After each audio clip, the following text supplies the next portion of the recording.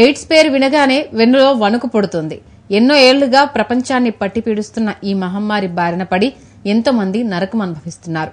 ఈ వ్యాధికి మందులు లేకపోయినా నివారణ ఒక్కటే మార్గం. హెచ్ఐవి బారిన పడకుండా కొన్ని జాగ్రత్తలు తీసుకుంటే ఈ మహమ్మారి నుంచి తప్పించుకోవచ్చు. ఒకవేళ పొరపాటునో గ్రహపాటునో ఎయిడ్స్ సోకితే ఆరోగ్యకరమైన జీవన విధానం వైద్యుల సలహాలు పాటించడం ద్వారా జీవన కాలాన్ని పెంచుకునే వీలుంది. ప్రతి ఏడాది డిసెంబర్ ఒకటిన ప్రపంచ ఎయిడ్స్ దినోత్సవాన్ని ప్రపంచవ్యాప్తంగా నిర్వహిస్తున్నారు. ఈ నేపథ్యంలో ప్రపంచ ఎయిడ్స్ డే సందర్భంగా ప్రముఖ వైద్యులు పద్మశ్రీ డాక్టర్ కూటికుప్పల సూర్యారావుతో మా Visakha correspondent DP Naidu face to face. కానీ ప్రపంచాన్ని వణికిస్తున్నటువంటి ఆ మహమ్మారిని తరలివేయడంలో ప్రపంచవ్యాప్తంగా ప్రసిద్ధి చెందినటువంటి డాక్టర్ పద్మశ్రీ డాక్టర్ కూటికుప్పల సూర్యారావు ఈరోజు మనతో పాటు ఉన్నారు.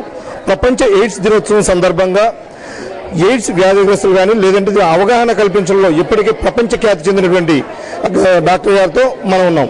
దీంతో మరిన్ని విశేషాలు అడిగి తెలుసుకుందాం. సార్ ప్రపంచవ్యాప్తంగా ప్రపంచాన్ని గర్వలాడిస్తున్నటువంటి ఎయిడ్స్ ఇటువంటి దానిపై మీరు అవేర్నెస్ క్రియేట్ చేస్తూ ప్రపంచవ్యాప్తంగా ఒక పేరు అయితే సంపాదించారు. ఈ ఎయిడ్స్లో ఎయిడ్స్ ఇప్పటికీ కూడా ఎక్కడ కూడా తగ్గిన దాఖలాలు అయితే కనబడలేదు. దీనిపై మీరు ఒక విధంగా వచ్చింది ఎయిడ్స్ వ్యాధి మనం తొలి రోజుల నుంచి చూసుకుంటే తగ్గిందండి. ఉదాహరణకి ప్రపంచవ్యాప్తంగా నలభై ఐదు మిలియన్లు పాజిటివ్ కేసులు ఉండేవారు. ఇవాళ ముప్పై ఐదు మిలియన్లకి తగ్గారు. భారతదేశంలో ఐదు పాయింట్ ఆరు మిలియన్లు పాజిటివ్ కేసులు ఉండేవి. ఈవేళ రెండు పాయింట్ నాలుగు మిల్లు తగ్గింది. కానీ దురదృష్టం ఏంటంటే ఆంధ్ర రాష్ట్రంలో మాత్రం ముఖ్యంగా coastal belt Srikakulam to Prakasam వరకు కూడా ఈ నెల్లూరు వరకు కూడా ఈ బెల్ట్లో మాత్రం కొన్ని పాకెట్స్లో నాలుగు శాతం.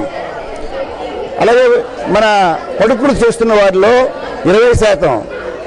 తర్వాత లైంగిక వ్యాధులు ఉన్నటువంటి వారిలో పదిహేను శాతం ఉండడం చాలా ప్రమాదకరంగా పరిణమించింది. రెండవది గత మూడు సంవత్సరాల్లో గణాంకాల ప్రకారం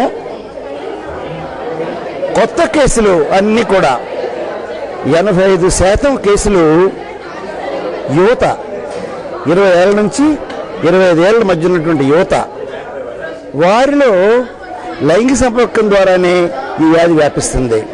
నేను చెప్పేది ఏంటంటే అవగాహన ప్రచారము ఈ రెండు ఇప్పుడు వ్యాక్సిన్లు. ఎందుకంటే మా సూచికట్ లాంటి టీకా కానీ పోలియో డ్రాప్స్ లాంటి వ్యాక్సిన్లు కానీ ఇంకా మనకి ఇచ్చే ఎయిడ్స్కి అందుబాటులో రాలేదు.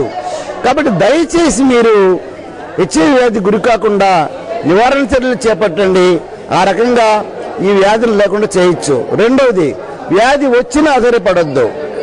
షుగర్ పేషెంట్ లాగా బీపీ పేషెంట్ లాగా ఇవాళ రోజు ఒక మాత్ర వేసుకుంటే ముప్పై రూపాయలు ఖరీదు చేసే మాత్రతో హాయిగా మీరు డెబ్బై ఐదేళ్ళు జీవించవచ్చు. ఇక మూడవది హెచ్ఐవి పాజిటివ్ దంపతులు నెగిటివ్ పిల్లల్ని కనొచ్చు. నాలుగవది హెచ్ఐవి పాజిటివ్ వ్యక్తులు పెళ్ళి కూడా చేసుకోవచ్చు. కాబట్టి అధైర్యపడకుండా వైద్యం తీసుకుని అందరిలాగే ఆరోగ్యంగా ఉండాలని వ్యాధి రాగానే అశ్రద్ధ చేయకుండా వెంటనే యాట్రీ కేంద్రాలకు వెళ్ళి ప్రభుత్వం ఇచ్చినటువంటి వైద్యం కానీ లేదా ఆర్థిక పరిస్థితులు బాగున్న వారు ప్రైవేటుగా వైద్యం కానీ తీసుకొని మీ క్వాలిటీ లైఫ్ లీడ్ చేయాలని విజ్ఞప్తి చేస్తున్నాను. అయితే ఎయిడ్స్కి నివారణ ఒక్కటే మార్గం. నివారణ దాని ద్వారానే మనం ఆ ఎయిడ్స్ ఎయిడ్స్ రహిత సమాజాన్ని నిర్మించవచ్చని అయితే మాత్రం డాక్టర్ కూటుకుప్పల సూర్యారావు గారు చెప్పడం జరుగుతుంది. ప్రభుత్వాలు మరింత ఒక అడుగు ముందుకేసి దీనిపై మరింత అవగాహన కల్పించినట్టయితే కనుక ఖచ్చితంగా ఎయిడ్స్ లేని సమాజాన్ని అయితే మనం చూడొచ్చని ముందు ముందుగా ఇటువంటి సాధించేందుకు గాను నా తరపున కూడా నేను పూర్తి సహాయ సహకారాలు అందిస్తాను. దీనిలో ఎక్కడ ఎటువంటి వెనకడికి వేసేది లేదని మాత్రం చెప్పడం జరిగింది. Cameraman సాయితో DP Naidu CVR news Visakhapatnam. AIDS. మాజీ మంత్రి